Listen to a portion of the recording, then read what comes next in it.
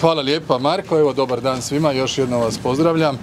Ovaj put iz Uljanik brodogradilišta ovdje u Puli, zahvaljujem gospodinu Hadžiću, gospodinu Radoloviću koji su čelni ljudi e, Uljanika ovdje, ministru Čoriću.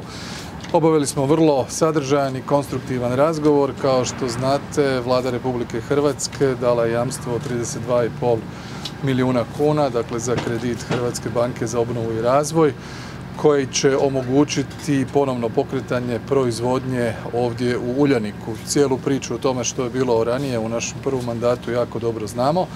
Mogu čestitati gospodinu Hadžiću na dosadašnjim aktivnostima od kada je preuzeo odgovornost i mislim da i broj zaposlenika koji trenutno ovdje rade, a njih je za sada oko 100, primjeren e, potrebama posla koje su do sada uspjeli organizirati i na taj način omogućiti funkcioniranje kompanije.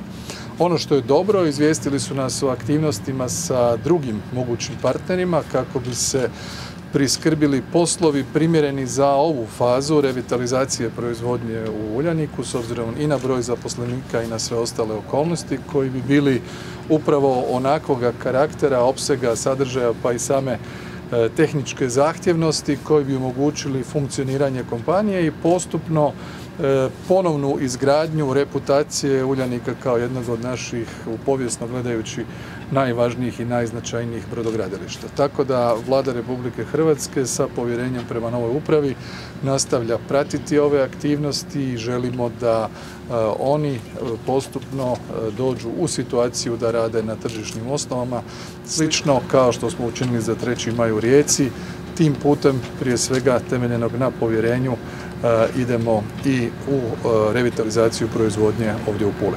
Evo, toliko do s obzirom na prošlost koju je gospodin premijer spominjao i sve što se izdešavalo, današnja potpora kako Uljaniku, prvenstveno Uljaniku, a onda i upravi i lagani rast i rješavanje svih problema e, koji znače razvoj kompanije i budućnost kompanije u suradnji s vladom Republike Hrvatske.